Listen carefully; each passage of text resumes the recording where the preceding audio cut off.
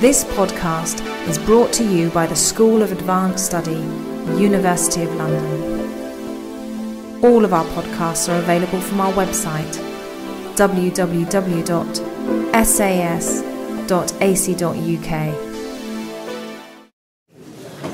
My name is uh, Derek O'Brien. I'm here from Oxford, Oxford Brookes University, and I'm being asked uh, by uh, Peter to uh, chair the first couple of uh. Um, what I plan to do is to allow each speaker 15 to uh, 20 minutes to present their papers, uh, and that will then be uh, plenty of time at the end for questions from the. Now, the first speaker this morning uh, is Andrew Okola, uh, who's going to present a paper entitled Jamaica Jubilee, A Time for Renewed Nationalism. Uh, Andrew is a graduate of the University of West Indies, where he uh, graduated with a BSc in chemistry. Uh, during his time at uh, UWI, uh, Andrew held several leadership roles. He was the uh, chairman of the Guild of Students' Cultural and Entertainment Affairs and uh, Student Union Committees, um, paying homage to his uh, partial African heritage uh, while at UWI he also founded the African Caribbean Student Union uh, Committee. Uh, while at UWI at a national uh, level, Andrew has served as chairman of the Jamaican National Preparatory uh, Committee to the World Federation of Democratic Youth. He was president of the People's National Party Youth Organisation, uh, a director of Jamaica's National Youth Service, and has also given service as a director on Jamaica's Ministry of Industry and Tourism's Entertainment Advisory Board. Uh, while holding these leadership roles, Andrew served as an executive member of the uh, People's National Party uh, and the, uh, sat on the committee of the Government of Jamaica Task Force on Education and Community uh, Development. Andrew is currently studying the bar professional bar professional uh, bar practice training course. Sorry, it's recently changed its name at uh, BPP here in London, and uh, later in the year uh, will be called to bar. So I'll.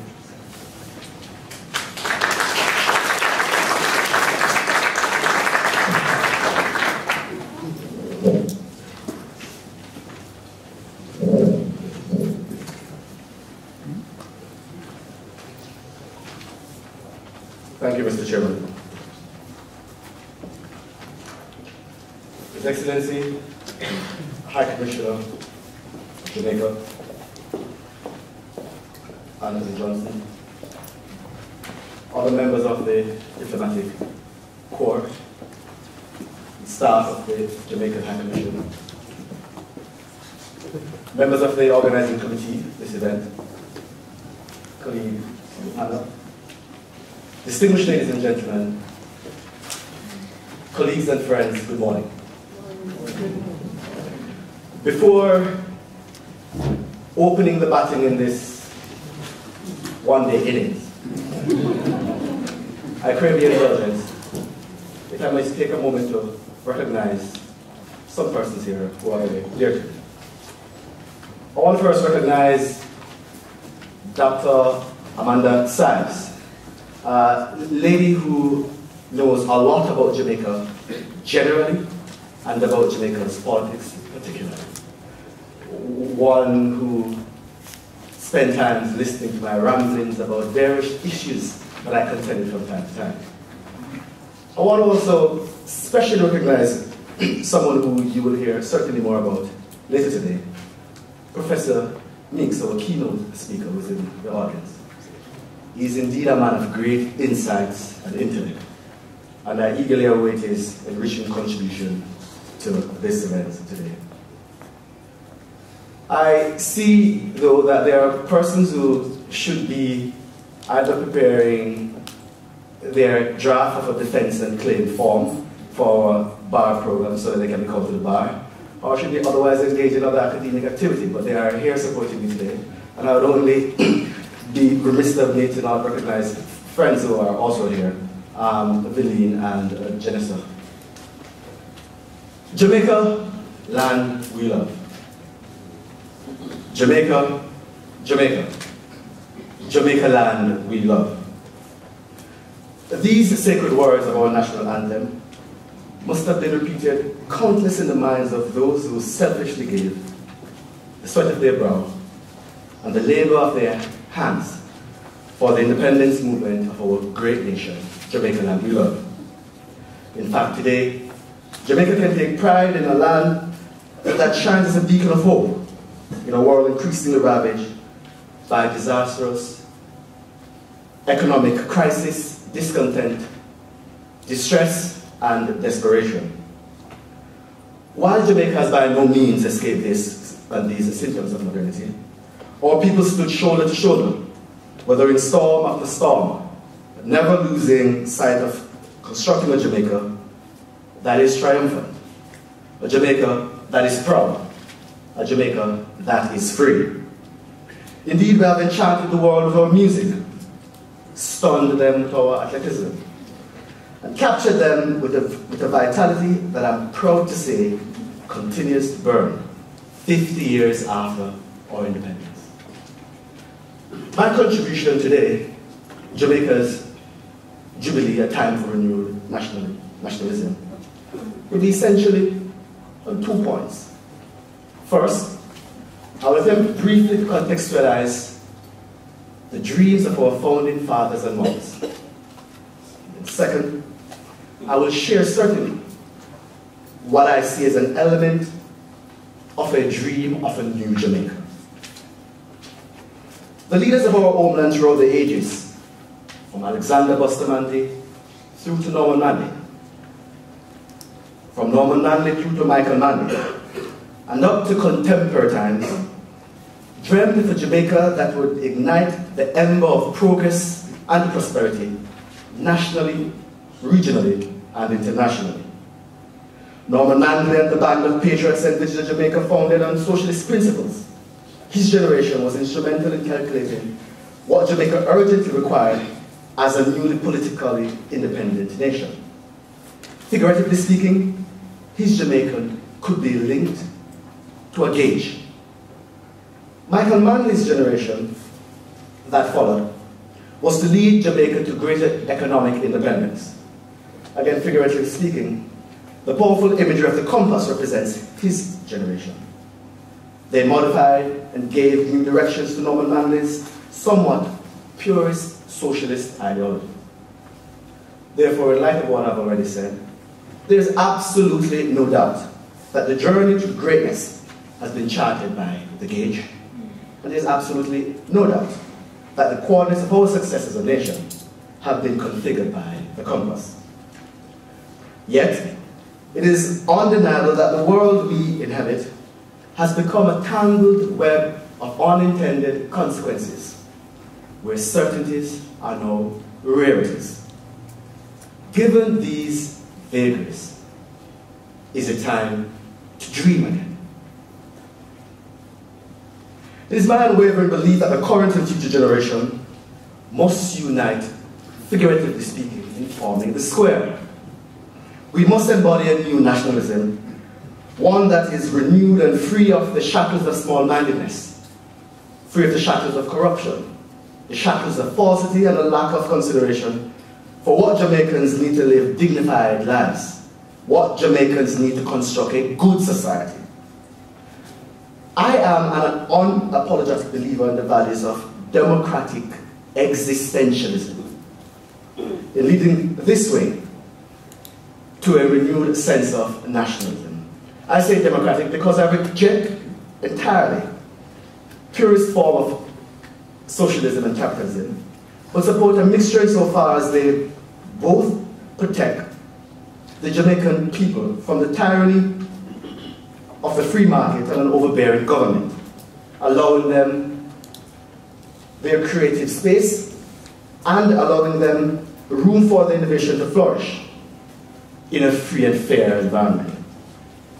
I say existentialist as I recognize that there must be a range of flexibility in our thinking when dealing with situations as they arise within the context of rapidly changing circumstances. Yes, it is unquestionable uh, that we have made great strides as a nation. We can boast of employment rate of 87.2%, literacy rate of 87.9%. And despite the crushing setbacks of current recession, growth in GDP of about 0.6%. Yet there is more to be done, and I believe that a renewed nationalism was a key to unlocking the incredible, I dare say, inexhaustible talents of our great people. How do I define renewed nationalism? In essence, it is time for Jamaica to sit up and ask who we are and what do we value. In other words, what does it mean to be Jamaican? I believe that renewed nationalism encompasses, but is not limited to our patois, which is far more elaborate than Irie, Yemen, or Wagwan. I believe that renewed nationalism encompasses our infectious reggae music, which has more words to it that is inspiring than the words one love. I believe renewed nationalism encompassing, encompasses our exquisite culinary palate, which is certainly more than ackee and saltfish, and is far more than jerk. Renewed nationalism must also focus on actions that are to be taken to create an environment that is healthy, an environment which is dignified, an environment which is safe and secure, an environment which is inspiring, in which patriotic sentiments continues to develop and abound, an environment in which the politics of idea is promoted and not the politics of fear. It is a society where a greater percentage of the population plays a greater role in the decision-making process. For instance, in our most recent general election last December, only 40% of those eligible to vote actually voted a sign that urgent need is required in a system of political organization. We cannot claim to belong to a nation where the will of the people reigns supreme if people do not take an active interest in the politics as they become more and more disenchanted with a system that they perceive as being corrupt, a system that they perceive as being self-focused and unrelenting. A new Jamaican society should constitute one where decision-making process is brought closer to the people. A society where politicians always act in a manner consistent with the true strength of their conviction, rather than remain paralyzed by the vested interests of undeserving others. In our national pledge, each Jamaican dedicates him or herself to play his or her part so that Jamaica may undergo increasing beauty fellowship, and prosperity. Renewed nationalism within this context means fostering a climate where service to the development of nation is more coveted than the newest Vybz Kartel album, or a pair of Clarks, where the best and the brightest are encouraged to stay and serve their country to the greatest of their capabilities. Furthermore, I am a regionalist man. I am. I believe that Jamaicanness is, is inextricably linked to Caribbeanness. The sense that Jamaicans have an immense and irreplaceable role in forging a regional identity.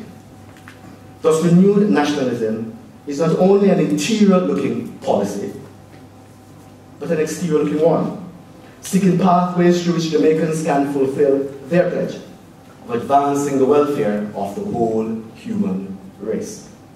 In simple terms, renewed nationalism signifies rekindling that unquenchable fire that helped us to fight for independence, that unquenchable fire that helped us to tackle social injustice, that unquenchable fire that propels us as Jamaicans not merely to see Jamaica from the seats of Kingston as, as constricted by geographic realities, but as full unique participants in the regional and global arena.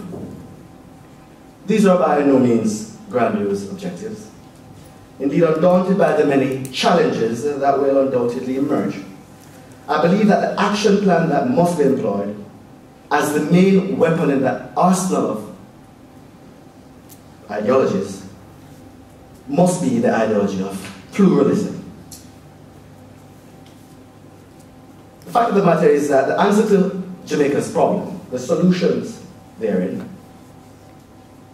do not only lie in those who occupies Belmont Road, which so happens to be the headquarters of one of our two major political parties, nor those who occupy the property at Old Road, which is the headquarters of the northern of the, our two main political parties.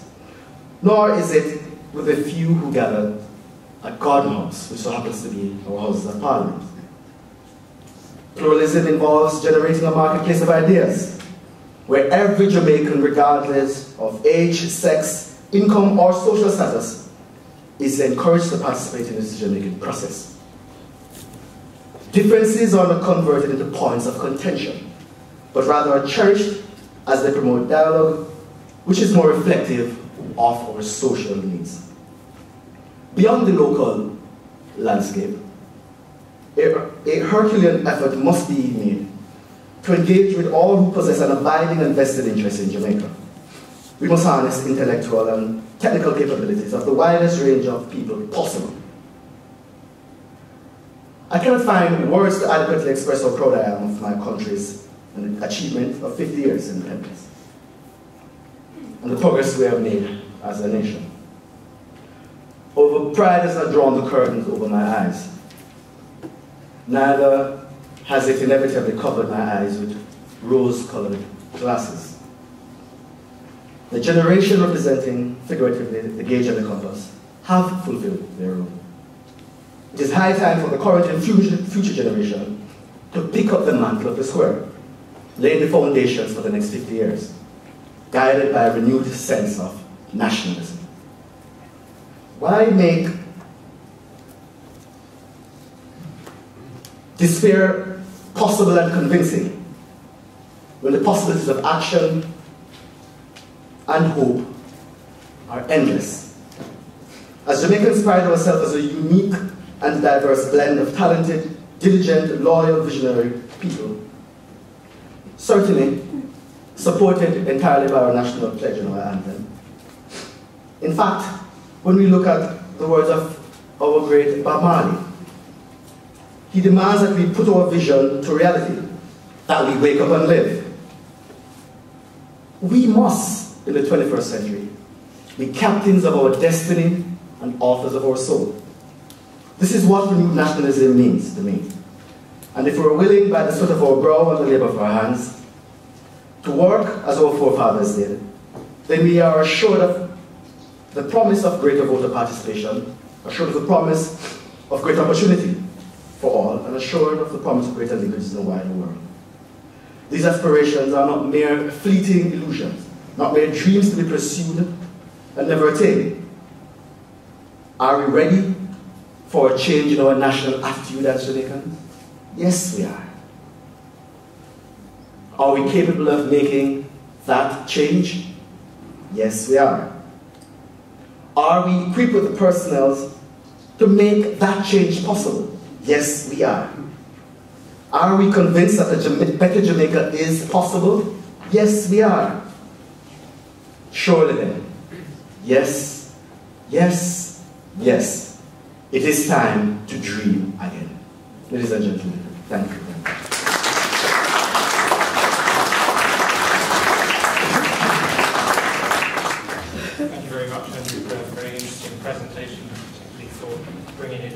Um, as I say, we'll allow time for questions at the end, uh, but first I'm going to invite our uh, second speaker to make his presentation.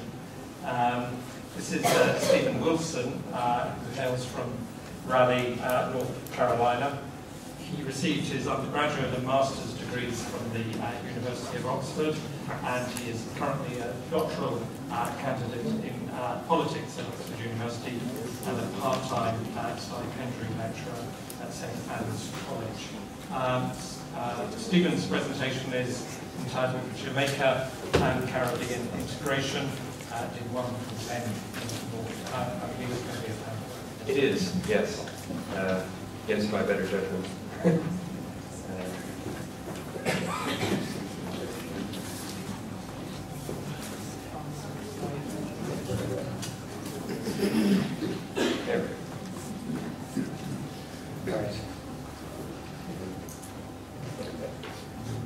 First of all, let me um, uh, thank you for allowing me to address you today. It's a privilege, um, and uh, I certainly will make sure that I come in on time to leave plenty of time for questions, um, because I look forward to hearing what you say probably a lot more than you're looking forward to hearing from me. Um, yes, and uh, my when you actually hear what I'm talking about, some of you might be disappointed and some of you might be relieved. It's perhaps less focused on the actual West Indian Federation than you might suppose given the title. Um, it's a rather familiar quote.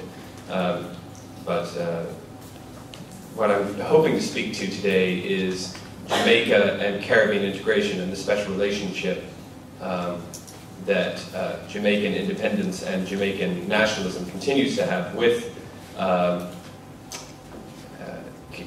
regional integration. Uh, it's interesting that Andrew also mentioned that link uh, in his talk, uh, and I think it's probably a theme that will come up in other talks. Uh, and to talk about both, as the theme of this conference involves both looking back at what was over the last 50 years and taking a snapshot of what's happened, uh, and then also looking forward um, to what is perhaps possible and likely to happen in the future. Um, so rather ambitiously, I hope to address both of those aspects uh, as we move forward. So, uh, as has been mentioned somewhat, obviously, this year represents multiple anniversaries, right? So we have uh, the bicentennial of the independence of Jamaica and Trinidad and Tobago. Uh, we also have, uh, it's been noted that this marks the beginning of the independence process, not only um, for Jamaica, but for the wider Commonwealth Caribbean. Um, this was the start of a process um, and a process that is not yet complete in some states, right? So this is, um, it's notable in that respect. It's also notable in that it marks the formal dissolution of the Federation of the West Indies, and therefore the beginning of a long, complicated road to regional integration. Um, the Federation in some ways represented a road that could have been, um, and separate independence represented uh, the road that was chosen. So uh, with that said, obviously the regional dream did not die, uh, and regionalization has been a common aspiration in all Caribbean Commonwealth countries and is something that politicians of all political stripes continue to make reference to. So uh, no one is really against regionalization, but when it comes to the details, uh, it's something that's been very hard to form consensus around. And just some refreshers for those who aren't familiar with the end of the West Indian uh, Federation. Uh, obviously, there were many problems with uh, the West Indian Federation, uh, and it's not worth uh, rehashing all of the reasons in which it might have failed and all of the things that contributed to its failure. Uh, but for our purposes today, obviously, the Jamaican referendum in 1961 was certainly a catalyst and a principal instigator for uh, the series of events um, that led to the collapse of the Federation. Um, not necessarily because of Jamaica's actions themselves, but because how those actions were perceived by uh, the wider Commonwealth Caribbean, uh, most famously by Eric Williams, whose um, quote is the basis of my title. Uh, it's uh, some other points that I think are interesting to make with regard to the West Indian Federation is that Jamaica did hold a somewhat special place within the political party structure such as it existed uh, within the West Indian Federation and that both of the major West Indian parties were uh, led uh, by Jamaicans. Um, one of the problems with the Federation, of course, is that the incentives for political office within the Federation were not significant enough to induce key political leaders like Williams and Norman Manley to give up uh, their national level offices to seek offices within the Federation. Uh, so there was a two-tier system, and, and, the principal politicians and those commanded, that commanded the most uh, popular support back home tended to stay out of the uh, West Indian Federation. But nevertheless, the two parties themselves centered around Jamaica, so Jamaica did have a special role within the party system. Um, and the other, I think, point is that uh, it wasn't a terribly robust federation institutionally uh, when you look at the world in a comparative context, right? So it lacked a customs union and a common currency.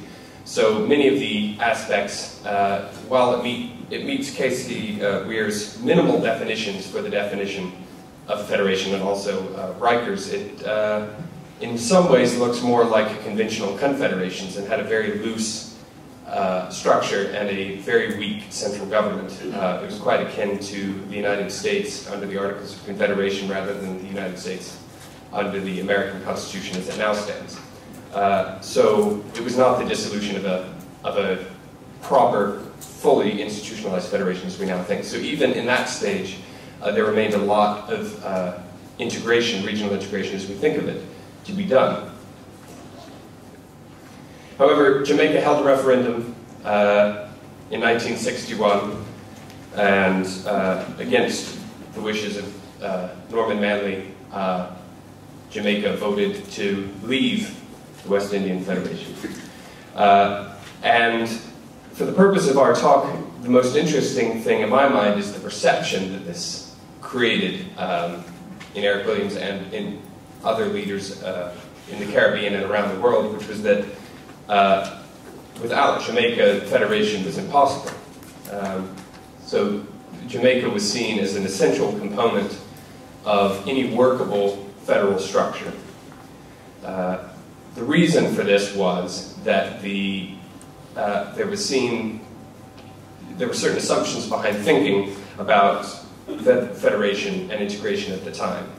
And the assumptions, uh, which we'll go into detail in a minute, were essentially that any workable structure would involve subsidization, that you would need stronger, larger nations like Jamaica, like Trinidad and Tobago, to effectively carry the smaller states. These are states that later became the associated states in the Caribbean uh, and are now largely in the Organization of Eastern Caribbean States. Um, so the idea was that you needed these central spoke nations to provide that cross-subsidization uh, for the smaller, less developed states. And uh, this pointing the finger uh, at Jamaica for leaving, I think, has uh, created a lasting divide between what are sometimes referred to as more developed countries, or MDCs, uh, and uh, less developed countries, LDCs, um, since in international relations and uh, the UN, everything has to have an abbreviation, so that's what that means. uh, so, what did that leave us with, right? So, Federation ended, but that was obviously not the end of our regional aspirations. So we have CARICOM, which was established in 1973, and some of you are saying yes, but that wasn't the actual first thing. Yes, there was the Caribbean Free Trade Area, CARIFTA, which was actually based on the European Free Trade Area, which was Britain's alternative to the European Economic Community, because uh, France vetoed and kept it out of it. So there's that background. But uh, CARICOM is the institution in which many Caribbean regionalists have placed their hopes that this dual identity as both Jamaicans and West Indians and members of the Caribbean wider community can be actualized. Uh, and the um, three broad areas in which it acts are coordination of foreign policy, functional cooperation, in which uh, the University of the West Indies is one of the most shining examples uh, of its success in functional cooperation, and economic integration. Uh, and, uh, oh yes, and it, and it, should also be mentioned in passing, people might ask about this, and I don't know very much about it, but uh, Jamaica did contribute to um, the creation of CARICOM uh, from CARIFTA, obviously with uh, Michael Manley and uh, being quite supportive. Uh, so once again, the, the moves forward in the Caribbean regionalization front have been seen as needing Jamaica to be on board, needing Jamaica to take a uh, leadership role in the region. Uh, and this has been a role that Jamaica has seen itself as fulfilling and that other nations in the region have seen um, Jamaica as needing to provide an essential role. The other uh, uh, project for regionalization is the Organization of Eastern Caribbean States, or the OECS, which was uh, created by the Treaty of Basseterre in 1981 uh, it, it, has a regional security system, a central bank, a Supreme Court, a secretary, joint diplomatic representation, and in 2011 they've entered a treaty for full economic union. Um, so they've had quite a, quite a wide range of achievements um, in that area.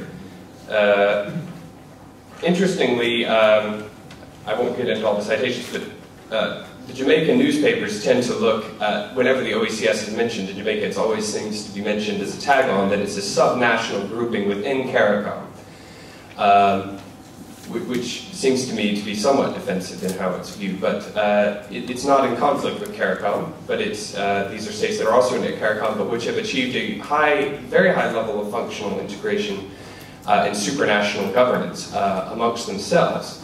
Um, and, and, have in many ways gone far further than, than a larger grouping. Uh, so it's, it's, it's a limited breadth, but it's, it's, it's a far deeper level of integration that they've been allowed to achieve.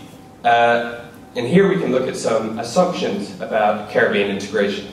Uh, and this is uh, borrowed uh, and is distilled from the work of uh, Professor Walter Mattli, who looks at the logic of regional integration generally.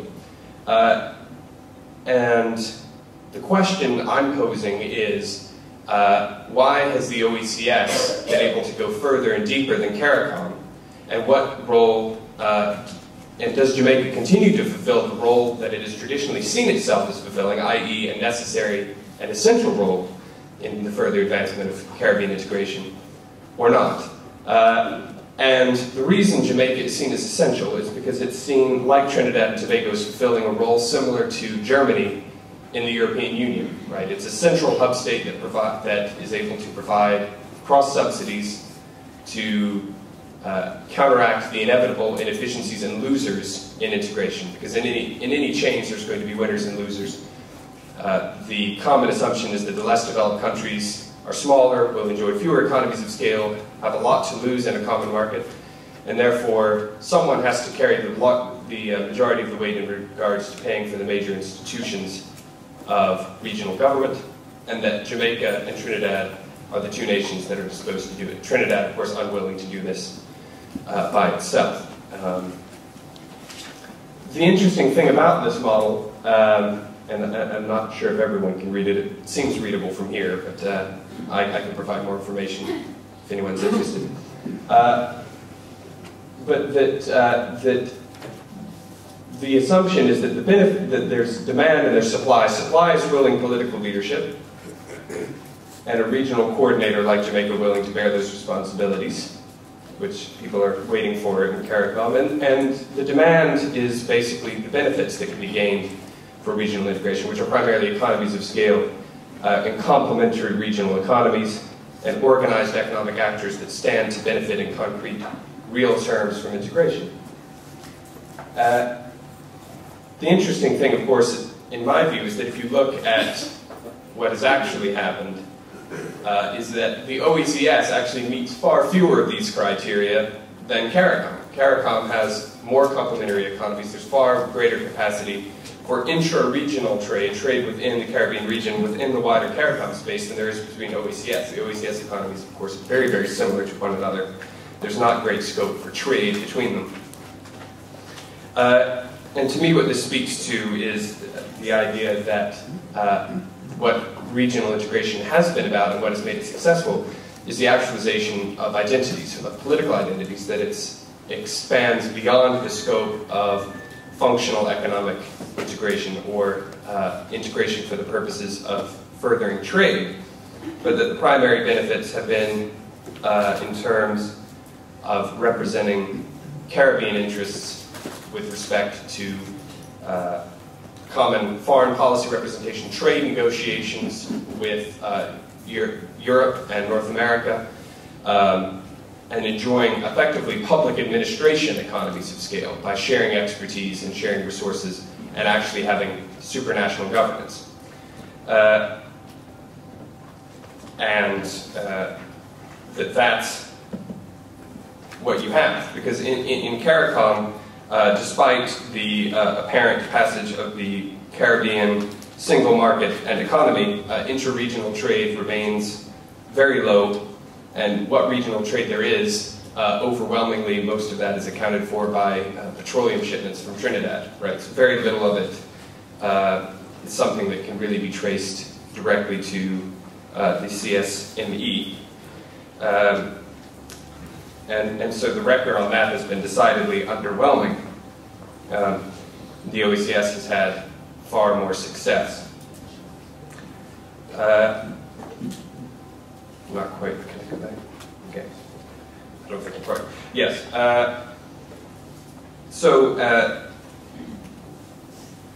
the uh, the OECS has, uh, has has demonstrated success in all the areas where where CARICOM has has uh, failed, and although it's um, as I say a much smaller grouping of nations, uh, it it uh, it has managed that deeper level of integration looking forward to the next 50 years, uh, and, and, as this is mentioned, uh, I think as the High Commissioner pointed out before, 50 years is a very long time, uh, particularly in politics where, where, two, where, a week is a very long time.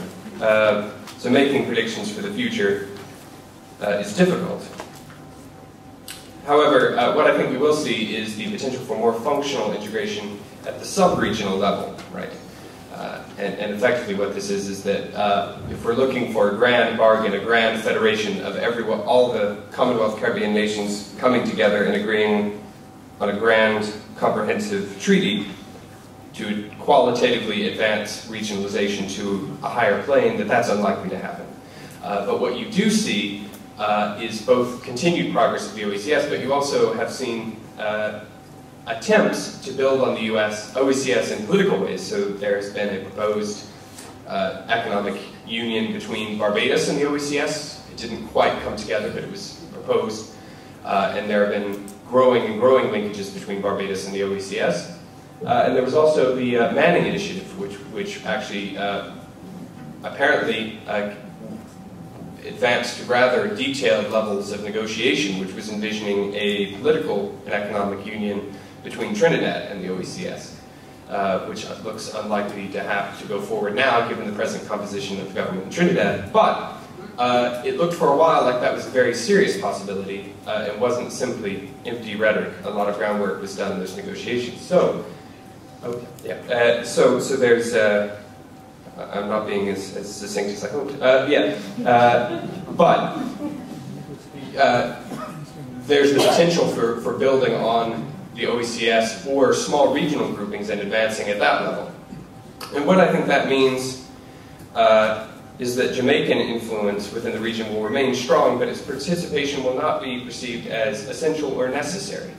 Uh, I think the idea that uh, Jamaica, the Caribbean integration can only move forward when Jamaica decides it's ready and joins the conversation. Is not true, uh, and that there is the prospect for regional integration projects uh, that don't involve Jamaica. Uh, I'm not saying that the strongest regional Caribbean grouping wouldn't involve Jamaica, because it would, um, but I think that um, there's, there's the potential for Jamaica not to be involved in key decisions if they don't join the table uh, and, and, become part of the conversation as negotiations uh, and the regionalization process moves forward. So, that's what I'll put out there and start the conversation. I look forward to hearing people's comments and questions. Thank you.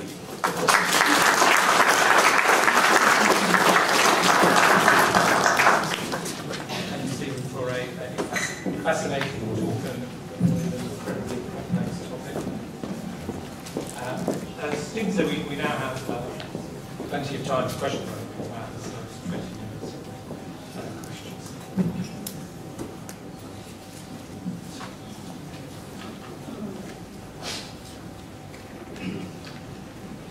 Thank you very much. Uh, Thornton Bell, my name is.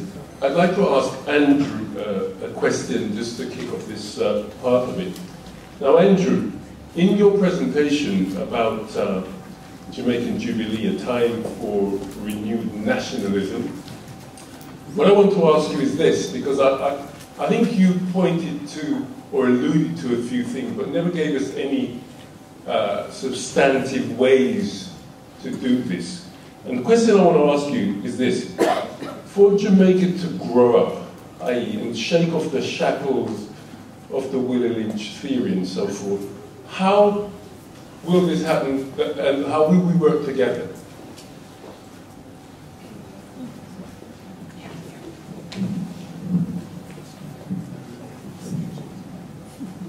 Thank you.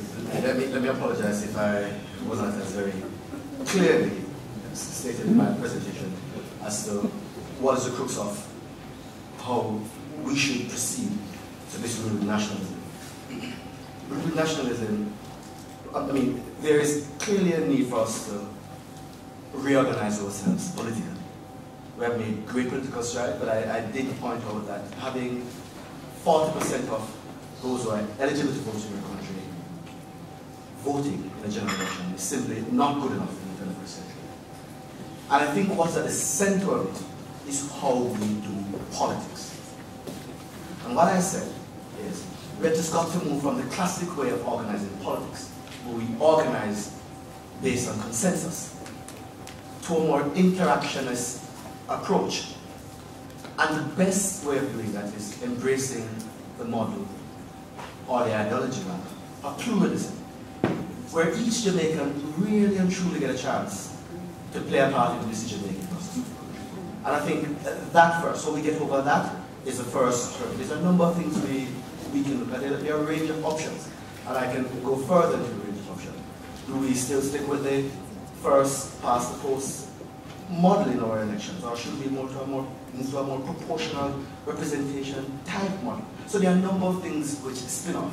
I mean, uh, not to say much more, I belong and is a member of a party uh, that certainly like the other political, main political parties in Jamaica, uh, that can be proud of the advances we made as a society as a country. But do I think that in the 21st century, looking at the forces which are at play, are we as democratic as we ought to be? I think. I think there is room for us to improve if Jamaica is going to arrive to secure destination in the 21st century. And political pluralism is the way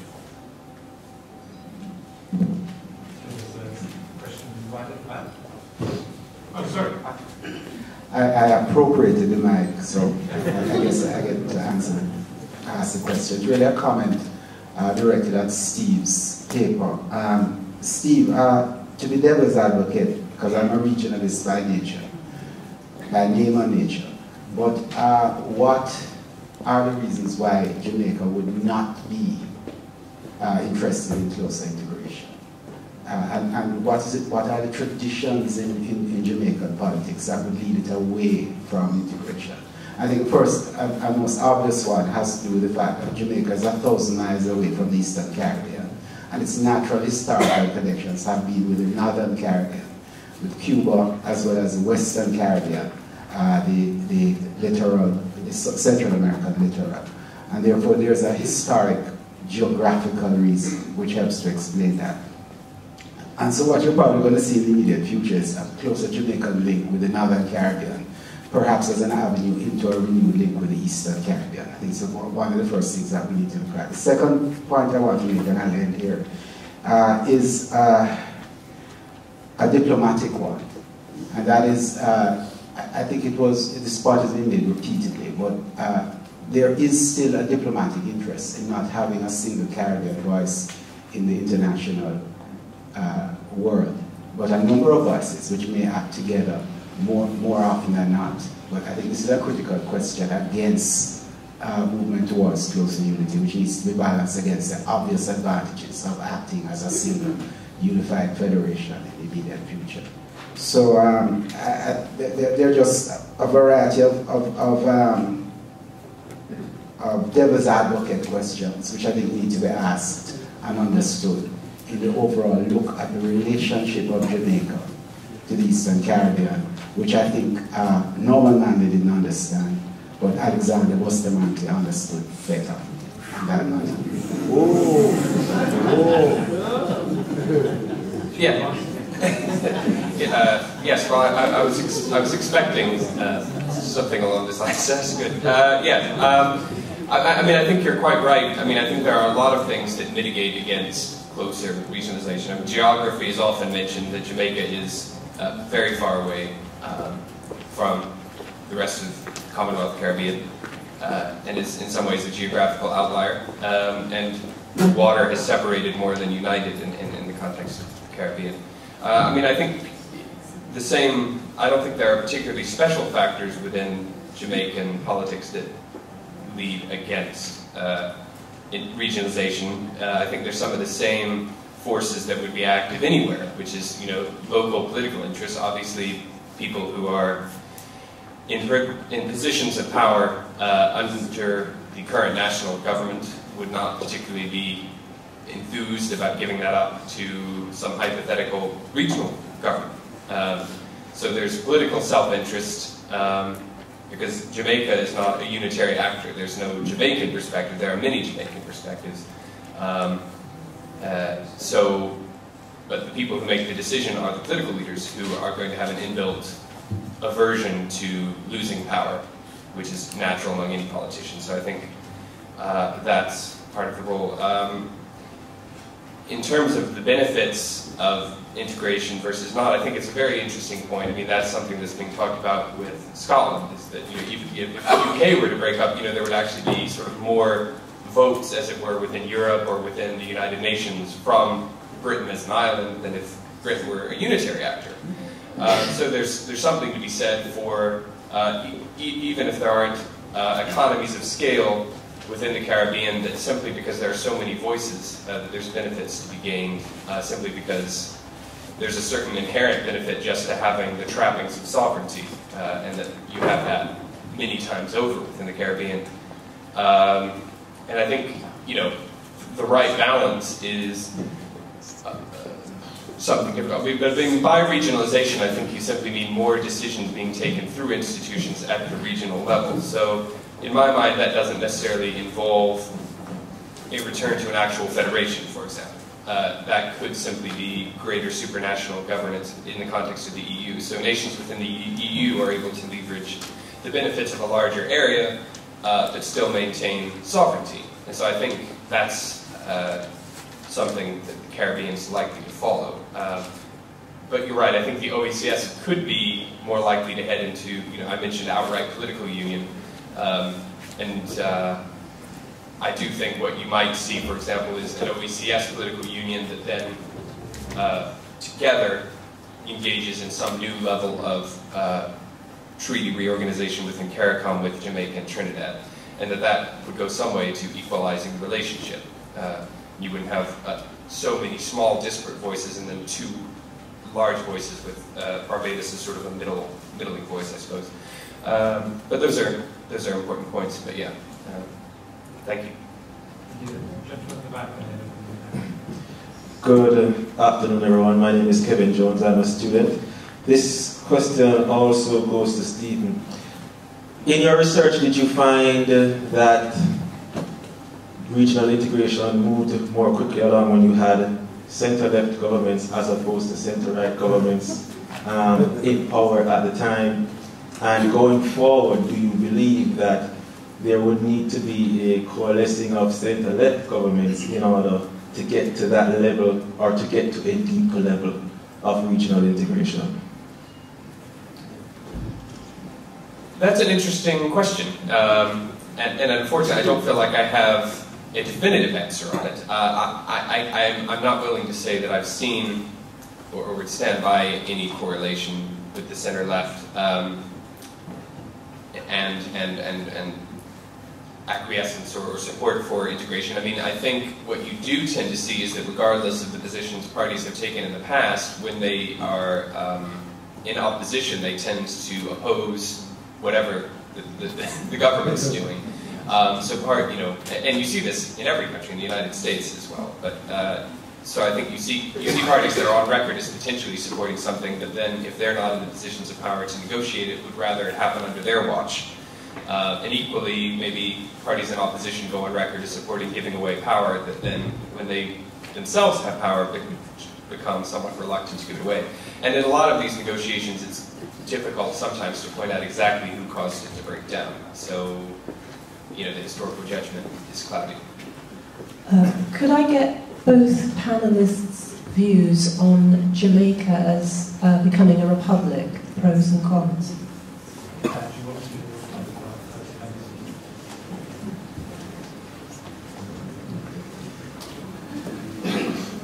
certainly in light of recent, recent utterance, I'm sure, this question should not been a meeting and this question was asked. Um, I, will certainly share my personal view, the, the view I share certainly by no means attached to any organization, institution um, that I support and I'm a member of. The, the simple view is, if it is time for Jamaica to become a republic, I think it must be a decision for the people of Jamaica And it is the people of Jamaica who should determine that as well. Unless, uh, Steve, do you want to answer that? Well, I I don't think it's really my place, but I do think there are some advantages to being i- in the Commonwealth. But I, I would say it's, it, that's a totally a self-determination position for the Jamaican people, and I I think there's pros and cons. It's not for an outsider to say. So I wanted to Uh, it, I just want to make a few very, very quick points. Um, we seem to be avoiding certain truths. Let's go at the Federation first start. Isn't it a fact that the Federation was used as a political hotcake at the time to scare people in Jamaica? If you look at some of the rhetoric at the time, it was said that if Jamaica was to be part of the Federation, it would weaken Jamaica economically and politically. And lots of people bought into that. That was the doctrine of Bustamante. Polls show, before that was mentioned, many Jamaicans were pro federation. Once it became a political issue, with that as a head, they changed their attitude. That has to be addressed. And nobody in the panel is actually saying that. We're scared to say.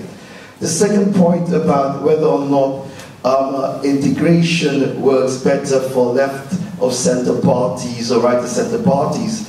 The gentleman at the back, the OACS, some of the leading figures of the OACS, John Compton of St. Lucia, Eugenia Charles of Dominica, they were right of center bar thinkers, not left of center thinkers. And I think it's important that we stress that particular point. The other final point I want to make is this.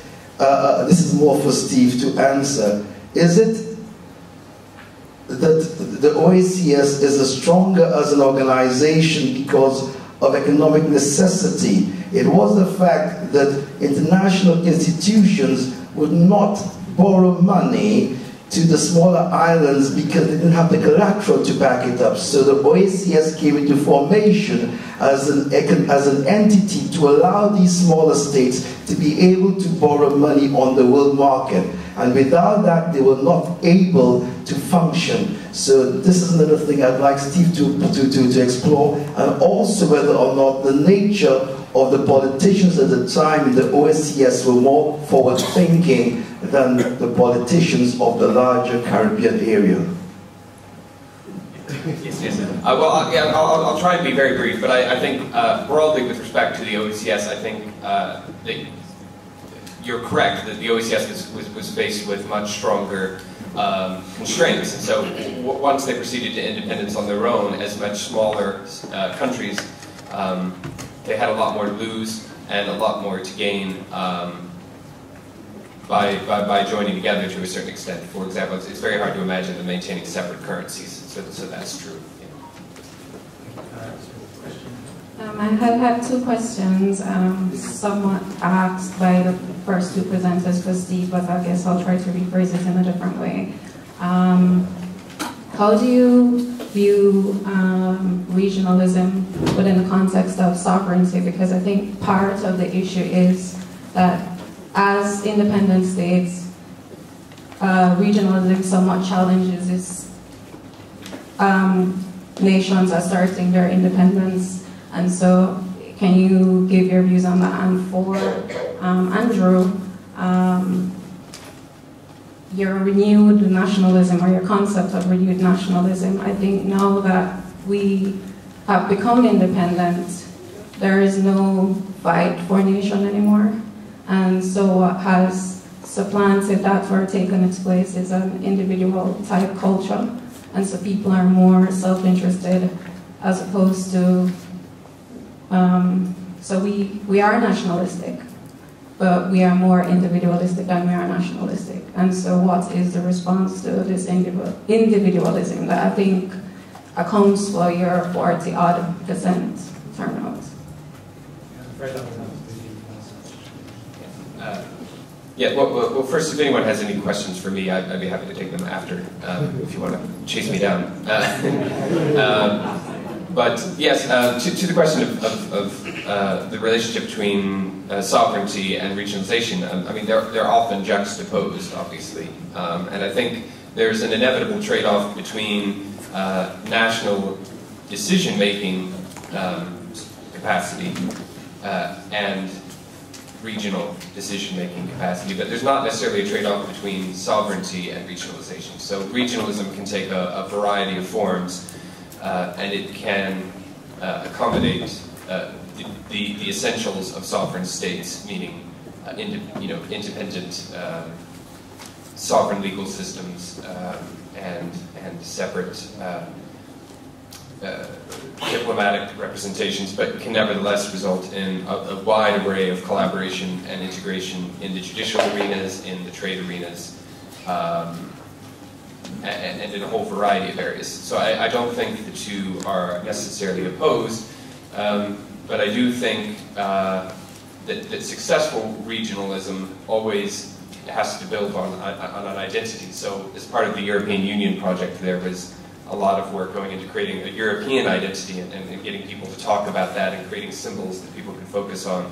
And I think to a certain extent that does exist in the Caribbean, uh, and to a certain extent uh, there, there's, there's work to be done. But I think the two can coexist, um, and, and, and, it doesn't necessarily mean that uh, everything that's done to promote Jamaican identity is necessarily eroding away from people's West Indian identity. I don't think it's I don't think it's a zero sum game anywhere else in the world, and I don't see why it should be here either.